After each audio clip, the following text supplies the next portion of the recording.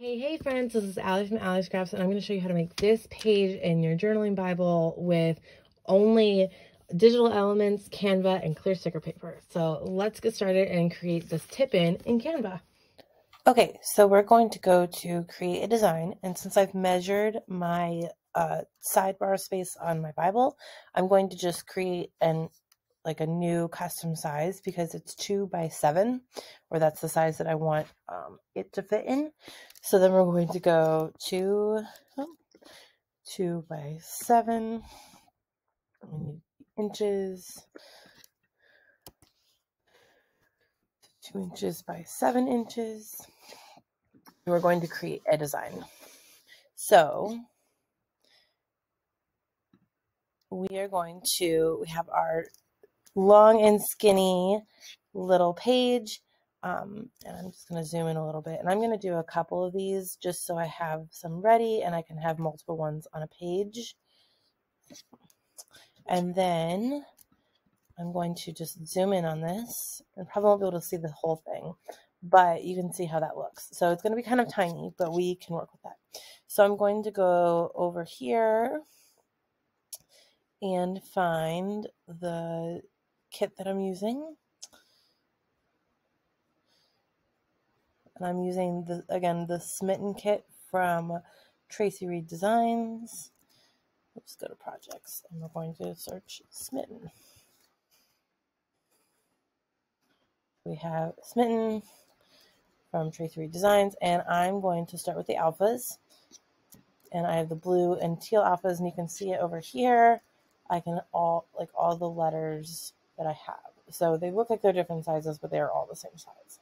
So I'm going to just start laying out how I want this to look when I print it out. Um, and I'm going to do the letters right here so that I don't have to use alphas or anything like that um, physically. So um, I'm going to say, so I'm going to do greatest, and I'm going to speed this up while I place them and rearrange them so you don't have to watch all of that.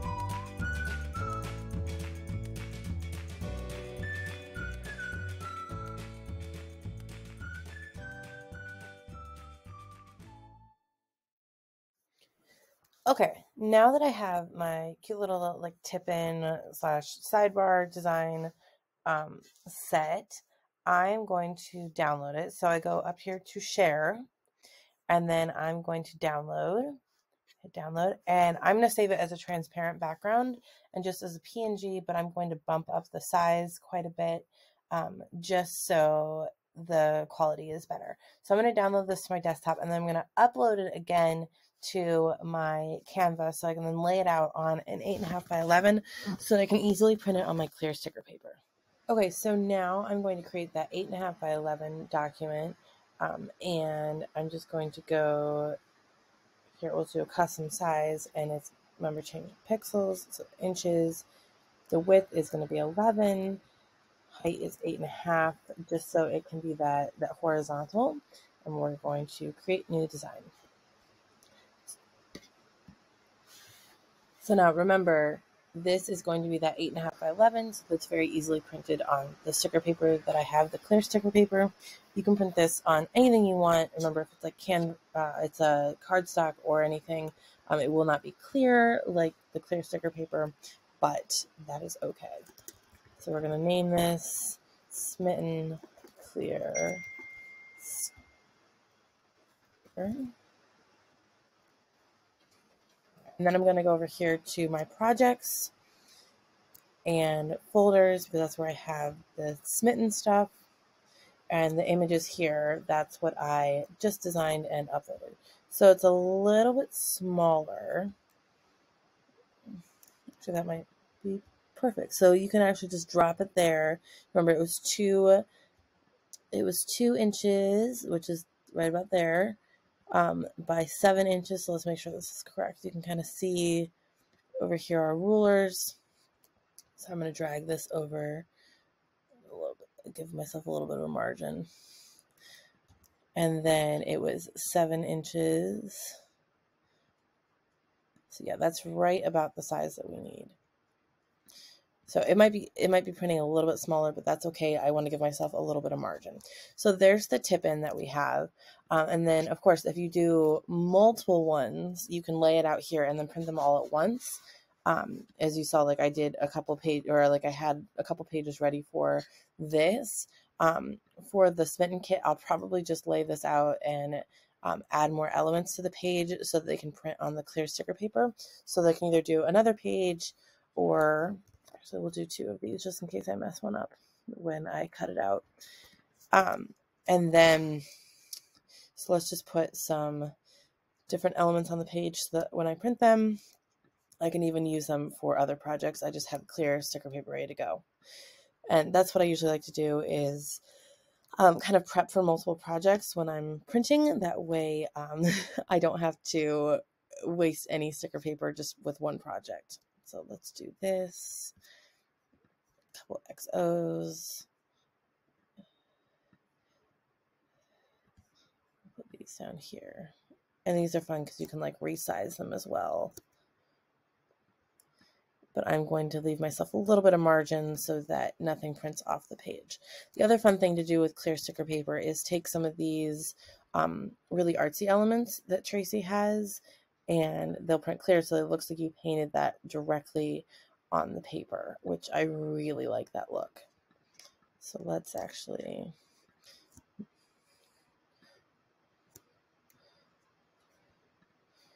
move this guy down, make him a little bit smaller.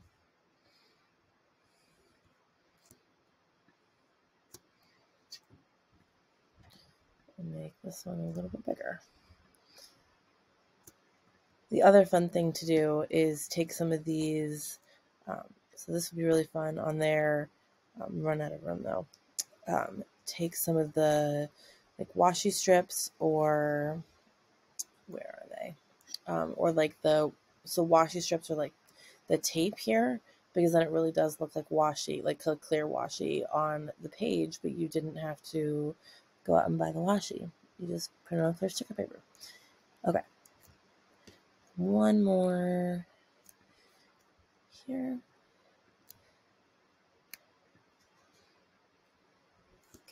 There we go. Some of that might print off the edge a little bit, but I I think we're going to be okay. We got a little bit mar more margin up here. I'm going to just select all of this and then notch it up just a little bit. So very similar to like designing in Photoshop or a similar program there, but Canva is free, which is nice. So what I'm going to do is I'm going to share and then I'm going to download again. But then this one I'm going to save as a PDF just because I've found oh, PDF print, not PDF standard. Um, PDF print. I'm going to bump up the quality all the way. Um, I'm going to make it CMYK for printing. Um, I'm going to flatten the PDF and we're going to go from there. And then I will print that on my home printer on my clear sticker paper. And then we will, I'll meet you back at my table and we can put this all together. Okay, so I'm going to do, of course, the classic verse of So now faith, hope, and love abide, these three, but the greatest of these is love from First Corinthians. Um, and this is just my Crossway Bible, um, ESV, like journaling Bible. I have tons of these, and just you can kind of see some of the things I've done. So this one, we're just going to do like a really, really basic, like just sticker. So I've printed off what we just designed in Canva on clear sticker paper, and you can see that it's just about the right width. You can see that. Um, but it's a little short just because there was a little bit more I could add, which is why I did some of these extras here, and we're going to layer some of those on the bottom. So I'm going to cut this out and I don't have to be really, really exact with it because it's clear sticker paper and it's really easy.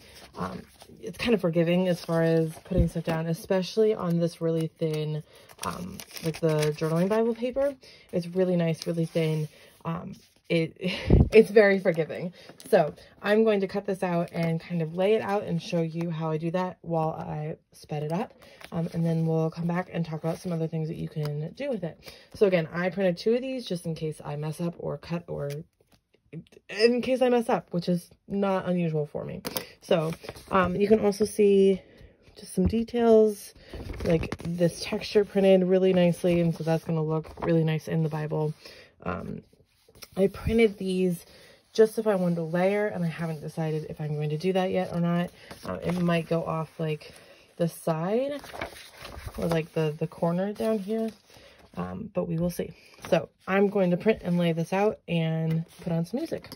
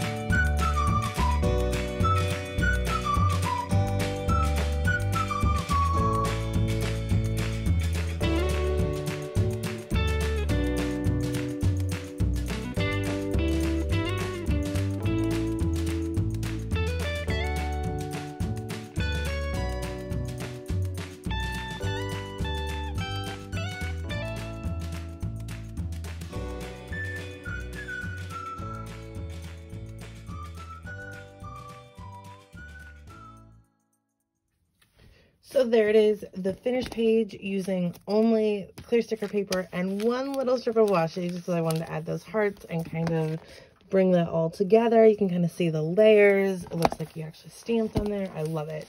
Um, and so I did want to add this layer over here um, of just that extra heart. I might might outline that heart just in there so it pops a little bit more.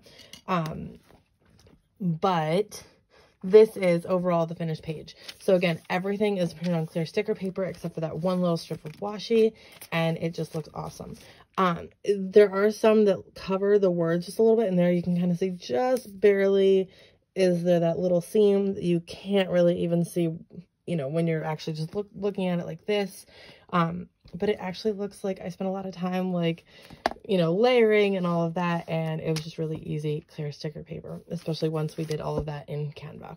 So let me know if you have any questions about using clear sticker paper or using Canva below, and I would love to help you out. Thanks so much, friends. Bye-bye.